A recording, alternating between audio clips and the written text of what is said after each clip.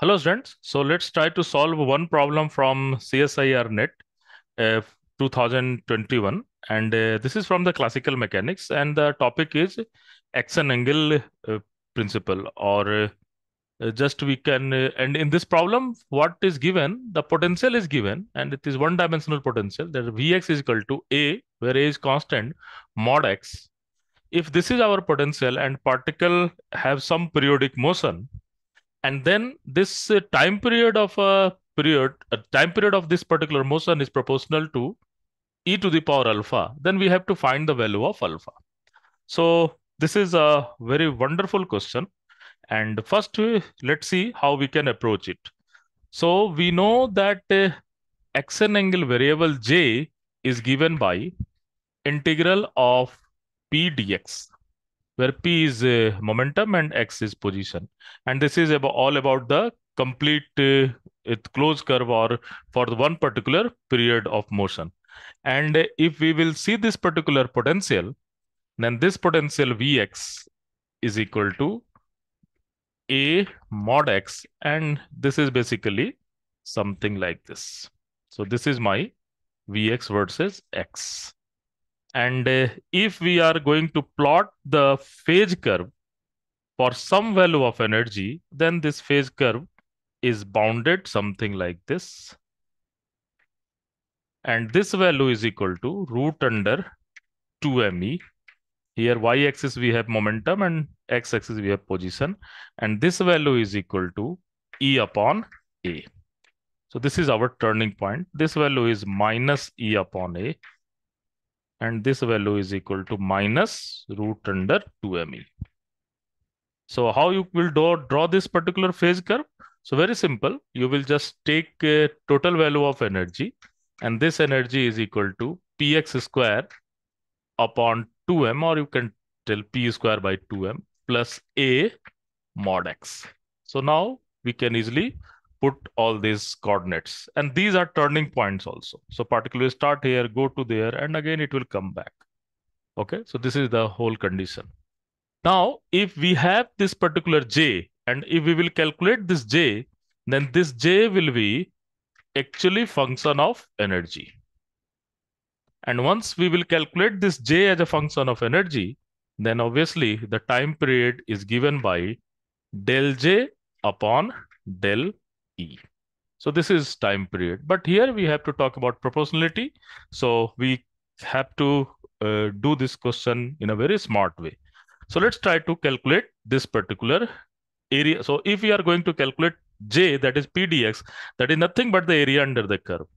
So I am just going to plan that if we are going to calculate this area and we are multiply with the 4, then obviously the uh, we will get the complete area. So I am just going to calculate this area and I will multiply it by 4. So what is my j? So my j is equal to integral and this is complete curve that is p is equal to root under 2m e minus a mod x into dx. So this is our j. When we will open it, then this value is equal to, we can go for 0 to E upon A and root under 2m E minus AX. Because in this region, the X is positive. So Vx is equal to also positive. We know the all property of mod X. So we can easily calculate this particular thing and we can multiply with 4. So there is not any need to calculate this particular integration because we have to talk each and everything in form of proportionality, in form of proportional. So what we will do, we will just try to make this whole integral dimensionless and independent of E. And then we can put all the other thing as a constant and we have relationship between J and E. So the whole idea is how we are getting the relationship between J versus E. So let's see this particular thing. So we have J is equal to, we will take root under 2me common and this j is equal to 4 into root under 2me common. So this integration is 0 to e by a and this value is 1 minus a by e into x root under dx. And what we will do, we will just put a upon e into x is equal to t such that when x is equal to 0, t is equal to 0 and x is equal to e by a, t is equal to 1. So, and from here we can get dx is equal to e by a into dt. So what will happen? We will get this particular j as 4 into root under 2me into e upon a and we will go for integration 0 to 1 root under 1 minus t dt. So this is the whole story. You can just look at like this. So this is the whole story. Now you can assume this will be some constant. So I am I am just only interested into j versus e. So here I can write j is equal to. So here I can write j is equal to some constant, let's say this 4 root under 2m, a, and all this thing, this integral will treated as a sum constant, k e to the power 1 by 2 into e, so that is 3 by 2. So j is equal to k e to the power 3 by 2. Now we will use this uh, formula.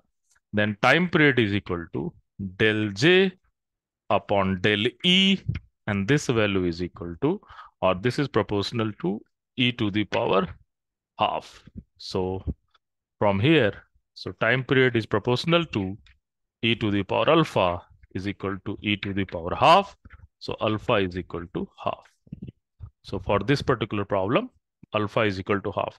So whenever the question will ask in term of proportionality, don't bother about integration. Just try to make the integral dimensionless and you can easily analytically solve this particular problem. Thank you.